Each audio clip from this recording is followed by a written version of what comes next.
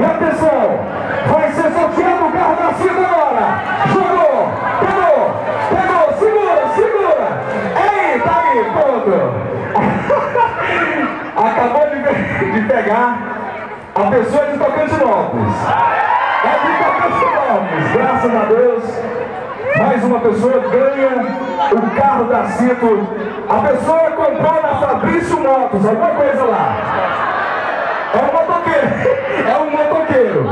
Comprou na Fabrício Motos o carro da Cito.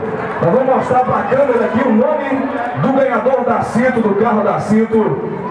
Ele mora na rua Uruguai, número 113. Ele mora na rua Uruguai, número 113. O nome dele,